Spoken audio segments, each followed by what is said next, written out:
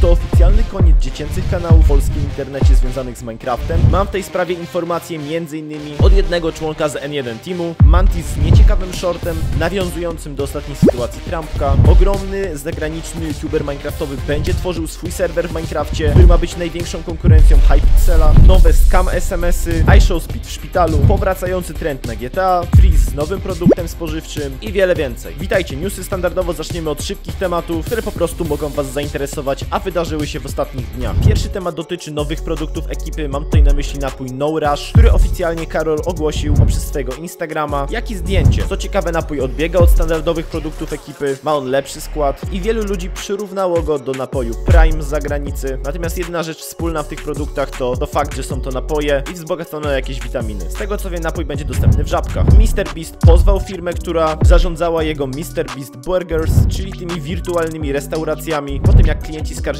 się na jakość tego jedzenia, a dokładnie jej brak i tak naprawdę pojawiły się w sieci masowe recenzje, jak dziadowskie jest to jedzenie, a Jimmy znany jest z tego, że dba o jakość produktów, które wypuszcza, jak i generalnie jego marka jest kojarzona z najwyższej jakości contentem na YouTubie między innymi. Także nie dziwię się tego ruchu i tłumaczy to między innymi w ten sposób, że sieć, z którą współpracował w tej kwestii, która była odpowiedzialna za, za tworzenie tych MrBeast Burgersów, wyrządziła nieodwracalne szkody jego marce osobistej, dlatego zdecydował się wejść z nimi na drogę sądową. Jak wiemy, niedawno miał w premierę film Barbie i teraz może pojawić się spoiler, ale chyba raczej to nie będzie nikomu aż tak bardzo przeszkadzało. Główna bohaterka użyła tam sformułowania myślisz czasem o śmierci i co ciekawe, zakłady pogrzebowe podłapały to i postanowiły wykorzystać ten fakt do napędzenia sprzedaży i zaczęli produkować różowe trumny. Jeżeli chodzi o dziwne akcje marketingowe, no to powiem wam że to jest chyba najdziwniejsza, o jakiej mówiłem w tych newsach. Co więcej, zadebiutuje niedługo nowy serwis streamingowy od NASA, czyli NASA Plus. Amerykańska agencja kosmiczna zamierza bowiem jeszcze w tym roku uruchomić nowy serwis streamingowy i wszystkie treści, jakie będą pojawiały się na tamtej platformie, będą oferowane bezpłatnie i bez reklam. A w ofercie znajdą się m.in. również transmisje na żywo. Czy będzie to nowa konkurencja dla YouTube'a, Twitcha czy Kika? Tego nie wiem. Mało też wiemy, jak to będzie dokładnie funkcjonowało, ale czas pokaże. Bardzo ciekawe, że pojawia się nowy, potężny gracz na tym rynku. Jak dobrze wiemy, kilka dni temu obiegła świat informacja, że iShowSpeed wylądował w szpitalu. Twórca boryka się bowiem z klasterowym bólem głowy, który bardzo utrudniał mu codzienne funkcjonowanie. I co, co najciekawsze w tej kwestii, jego fani postanowili wesprzeć go i pojawili się pod szpitalem oraz zaczęli śpiewać jego piosenki. Jest to dosyć specyficzne, natomiast widać, że ma on bardzo oddaną społeczność i zależy im, by ich ukochany twórca wrócił do pełni zdrowia. Teraz przejdziemy do tematu dziwnych SMS-ów, które ostatnio się znowu pojawiły. Mam tutaj na myśli skamy w SMS-ach. Między innymi taki wzór SMS-ów zaczął się bardzo często teraz pojawiać. Oszuści piszą w nim, że gratulacje, wybrano cię do ankiety jakiejś, możliwe, że coś otrzymasz za darmo, bez żadnych umów, wystarczy tylko kliknąć w linka. Pamiętajcie, żeby nigdy w takie rzeczy nie wchodzić, żeby ostrzec osoby starsze, jakie macie w rodzinie, żeby też nigdy w coś takiego nie klikały i żeby nie dali się nabrać, bo naprawdę co roku nabiera się na to bardzo dużo osób i trzeba na takie rzeczy mocno uważać. Ale z tego co zauważyłem, takie SMS-y pojawiają się falami i nie jest to pierwsza fala takich SMS-ów w tym roku. A teraz przejdziemy do lekko przyjemniejszych tematów. Mam tutaj na myśli temat Masnego Bena, czyli Boxdera w swojej masce, który zaczął od pewnego czasu tworzyć swoją karierę muzyczną. Myślę, że ta postać jest wszystkim wam dobrze znana. Masny Ben nie wypuszczał przez rok żadnej piosenki. W tym momencie pojawił się jego nowy utwór, Nana Nene. Utwór jest bardzo przyjemny, jest to taki prezowy kawałek, jak w sumie wszystkie utwory Masnego Bena. Jestem ciekaw, czym była spowodowana jego roczna nieaktywność, natomiast fajnie, że coś nowego od niego się pojawiło. Co więcej, parę dni temu miała również miejsce aktualizacja jednego z największych serwerów w Polsce, czyli Anarchy GG. Pojawił się tam długo wyczekiwany event wakacyjny, co poskutkowało bardzo fajnym zainteresowaniem graczy. Odnośnie całego eventu wypowiedziałem się na moim drugim kanale Minecraftowym, do którego was serdecznie zapraszam. A jeżeli już poruszyłem temat swoich kanałów, chciałem wam podziękować w tych newsach za 200 tysięcy subskrypcji na moim głównym kanale. Dużo to dla mnie znaczy i bardzo wam za to dziękuję. Mantis natomiast powinien się zastanowić nad shortem, który ostatnio dodał. Generalnie pamiętacie temat Trumpka. Myślę, że myślę, że TG bardzo fajnie tam się wypowiedział. Mantis natomiast bardzo powinien zastanowić się nad shortami, które dodaje. Generalnie ostatnio głośny był temat Trumpka, który wam nakreśliłem, jak i wytłumaczyłem o co w nim dokładnie chodziło. Jak wiemy, wszystko tyczyło się shortsów, które były, które zakłamywały, jakoby Mojang dodawał różne rzeczy do swojej gry, jednakże wszystko opierało się o modyfikacje. Przedstawienie takowych modyfikacji zrobił również na swoich shortach Mantis. Przedstawił on shorta z, z nowym rzekomym bossem. Oczywiście Mantis się wycwanił i zrobił to w taki sposób, że ciężko jest się tutaj do niego o to przywalić, ponieważ w tytule jest, że dodał nowego bossa do Minecrafta, ci- co już świadczy o tym, że jest to swego rodzaju modyfikacja. Natomiast w shorcie jest powiedziane, że Mantis na sam koniec shorta pokaże tę modyfikację.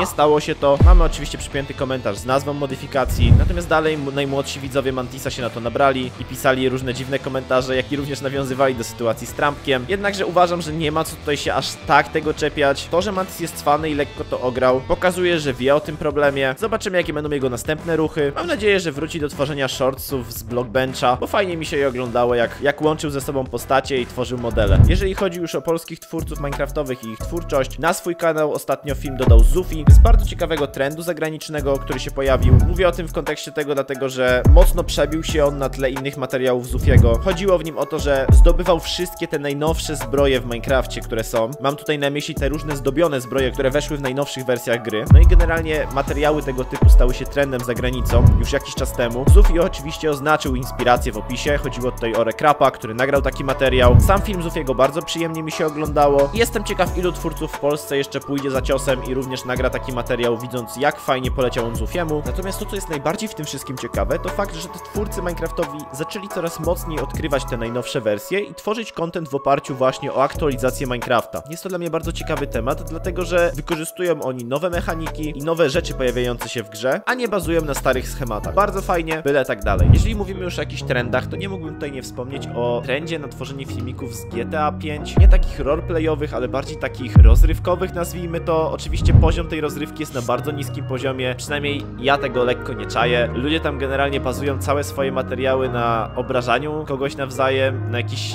żartach z podtekstami i na, i na dziwnym modulowaniu głosem. Ja tego gdzieś tam nie czaję, nie jest to moje środowisko. Może tak właśnie to musi wyglądać tam. Natomiast filmiki z tego typu zaczęły znowu wzbudzać zainteresowanie widzów i odbiorców. No i wiecie, generalnie myślę, że wszystko tyczy się tego, że niedługo potencjalnie możemy się spodziewać nowej odsłony GTA. Stąd też wszelkie produkcje z tym związane, nawet ze starszymi wersjami gry, zyskują coraz większą popularność. Popularność również zyskał tweet albo X, albo post po prostu na Xie, czyli bardzo dużego twórcy zagranicznego, który tworzy naprawdę wiralowe treści związane z Minecraftem i inspiracje od niego czerpią największe kanały Minecraftowe w Polsce. Między innymi to właśnie Speed Silver stworzył ten zabójczy turniej bazowany na tematyce Igrzysk Śmierci w Minecrafcie, który podłapał między innymi Sagi. Także naprawdę i zrobił na nim kolosalne 14 milionów wyświetleń, a na całej serii z tego no to o wiele więcej. No i to generalnie tak jak ogłosił on na, poprzez, poprzez platformę Ilona Maska, czyli X, zamierza on tworzyć swój serwer w Minecrafcie. Jest to bardzo ciekawy ruch, ponieważ twórca z takimi zasięgami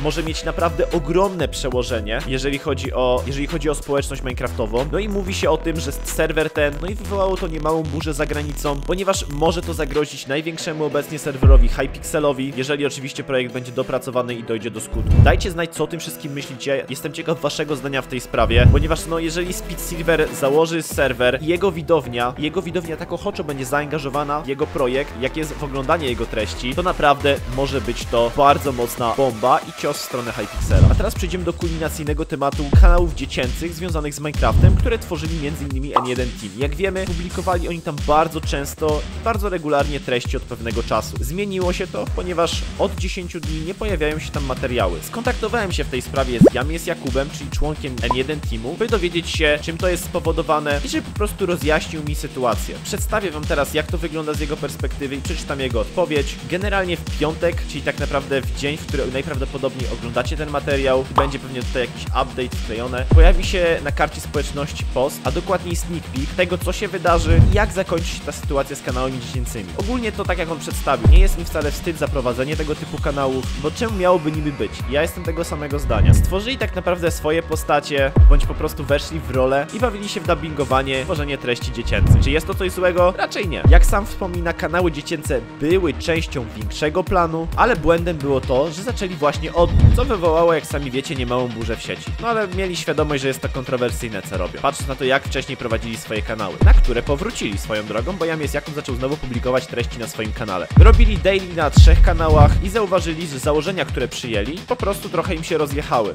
Tworzenie daily treści wymagało od nich dużej dyscypliny i ogromu motywacji i po prostu zaczęło pochłaniać to u nich za dużo czasu, przez to nie mieli już możliwości tworzenia kontentu na swoje podstawowe kanały. Jak dowiadujemy się również z wiadomości, którą otrzymałem, modulatory wprowadzone były ze względu na Draviusa, bo jego głos ni cholernie pasował do klimatu treści, z czym się totalnie zgadzam. Chłop ma gigabasowy głos. Nie mieli planu się z tym kryć, a nie reklamowali tego u siebie ze względu na algorytm i target widowni, co jest dużym plusem. I też fajnie jak Jamies Jakub przyrównał, Afi był tego super przykładem, podpromował swój kanał dziecięcy na głównym kanale i nie miało to zupełnie przełożenia. A jeżeli chodzi o powrót na główny kanał Jamies Jakuba, napisał on w ten sposób, że przerwy u niego pojawiały się dosyć często, były one mniejsze lub większe, a powrót jest uwarunkowany tym, że po prostu stęsknili się za swoimi głównymi kanałami i, i chcą przygotować coś większego. Także jak sami widzicie, kolejni twórcy wykruszają się z kontentu dziecięcego, ale spokojnie, Wade, czyli nasz Nunu, dalej napierdziela, tak samo Kławku i oni dalej zasypują nas dziecięcymi treściami. Jak widać, Wade w pełni się tutaj przebranżowił i ładnie leci na fali popularności kanałów dziecięcych i